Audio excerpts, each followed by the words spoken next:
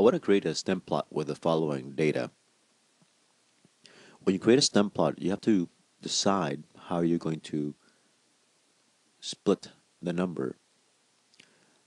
When I look at this data set, I noticed that I started 1661 and I go down to 2268. Also notice right now that it's sorted. If it wasn't sorted, um, I would make it sorted.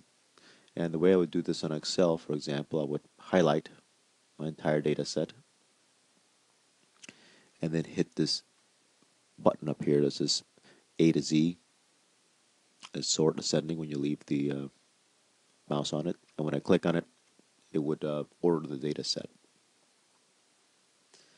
So I need to decide, do I divide it by the thousands, split it in the thousands? If I do so, I'm going to have just two columns, one for a thousand and one for two thousand. So that's not very uh, detailed. So what I'm going to do next is try to divide it this by the hundreds. So for example, if I divide it by the hundreds, the first number would be 16 for 1600. The next number would be 1700, 1800, 1900, 2000, 2100, and it goes all the way up to 2200 so I can stop right there. This would be my stem. This represents the classes on a histogram. So on a histogram you had the classes and you had to decide how wide you're going to make the classes. In a stem plot you have very little choice as to how you're going to create the class. You can only do so using our numbering system and then I'll show you something you could do uh, to kind of modify that a bit and give you a little more leeway. So now that I got my stem, I need to create the leaves. Now notice how many digits I have in this number. Since uh, I'm incrementing by 100s each time, that means the unit that represents the entire data set should be in the tens unit. The leaf will represent the data value. The stem just shows me how I'm subdividing or distributing the number set. So I'm going to do the following here. I'm going to make. So suppose I decide I'm going to trim the rest of the uh, numbers. What does that mean? It means that after the hundreds unit, I'm going to use the tens unit as my leaf. But what about the rest of the numbers? I discard them. They're not there. So for example, this number just becomes 166. But the next one, 167. 171. 173. 180. And so on. So when I start to graph, it would look something like this. It would be 1660, but the 6 is the only thing that makes it. The next number is 1670, but the 7 is the only thing that gets placed. 1710, the 1 for the tens unit is the only thing that gets placed, and so on.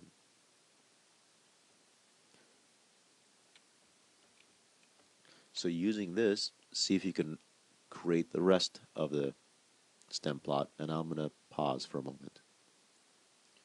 So here's, here's the rest of the numbers, and I'm going to place them.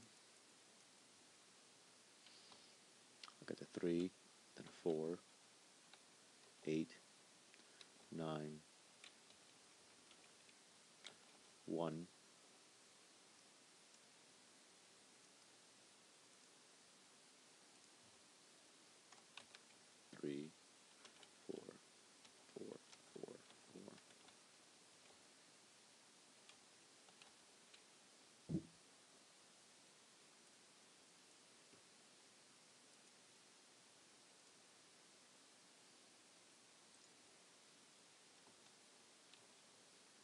Again, the method I use to break up the last part to create the leaf is called trimming. This is the trim method. What's the other method? Rounding. So let me show you what rounding will look like. Again, if I'm going to round, I'm going to round to the tens unit. So for example, what would happen if I round now? Again, 1661 would become again just 1660. Again, I'm rounding to the nearest. Again, I'm putting the zero there just to make sure that you realize I am rounding. I'm not going to display the zero. I'm just going to display again the tens unit. So the rest of these I'm not going to show you the uh, zero. So 1713 would be 10. So notice right now it seems to be exactly the same, but notice the next one, 1737 when I round be 1740. So a 4 goes instead of a 3. So you should get practically the same picture, but there'll be some differences. Like right here, 848 will be 1850. And here's the rest of the numbers by rounding, and everything I've highlighted in yellow has a change from the previous method, which is trimming. So when I put the numbers again, it's going to look very similar. Again, the first one's 6, 7. As a matter of fact, it looks identical unless uh, you see a different marker. And so the very first part looks identical, really.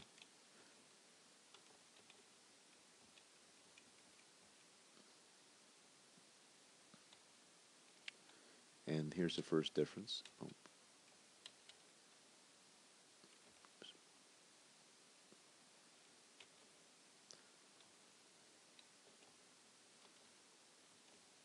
you notice that that one value now is going to get shifted over here. So there's one difference in that column. And there's the stem plot using the rounding.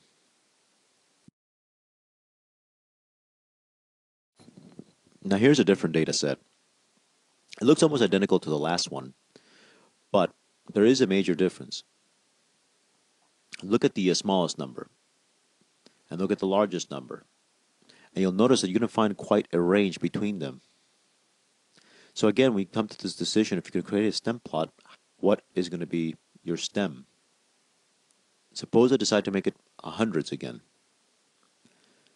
But if I make it by the hundreds, you'll notice that what I'm going to have is a lot of empty space. For example, I'll start at the 700s, then I'll go to the 800s, which is nothing there. Then I'll go to 900s, two values.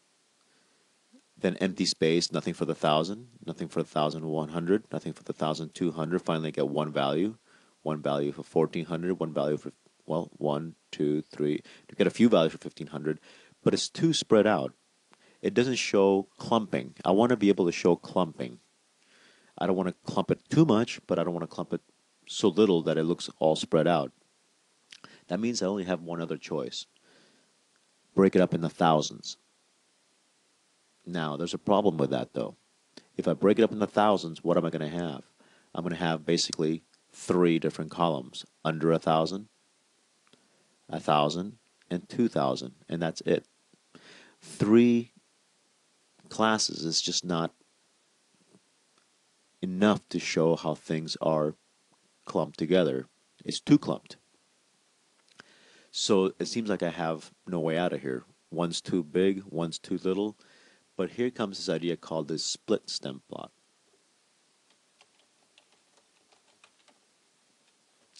And I'm going to break it up into thousands. But what I'm going to do is I'm going to create two instances of each stem. So when it goes under a thousand, I'm going to mark under a thousand by 0, 0. Again, remember this is the thousands unit. I'm saying I have zero thousands. The next one's going to be one and one. That means again a thousand, a thousand, and then two and two again for two thousand, two thousand.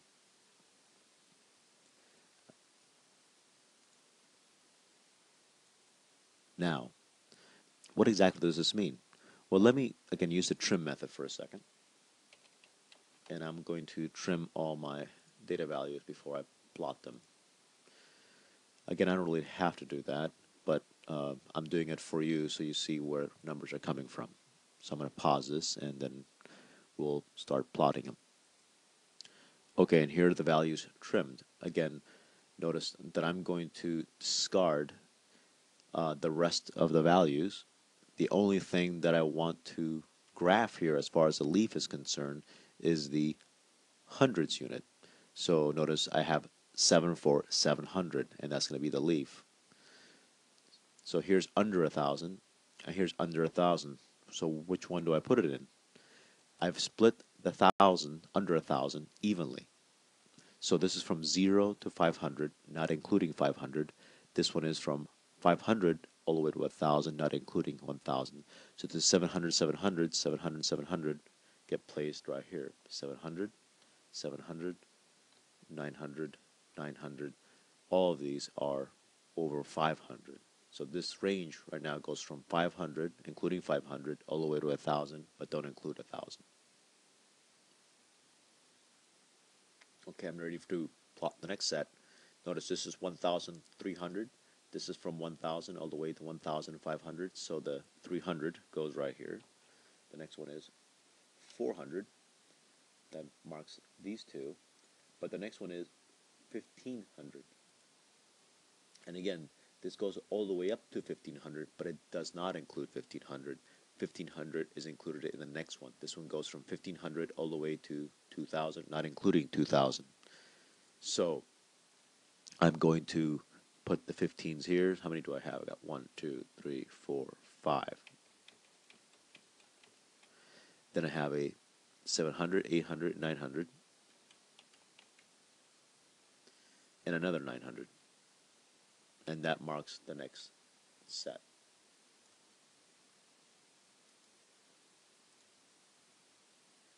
Now I'm in the 2000s. Again, notice 2000 will go into this slot right here. Then 2100, again under 500, so meaning 2500. So I'm place it here.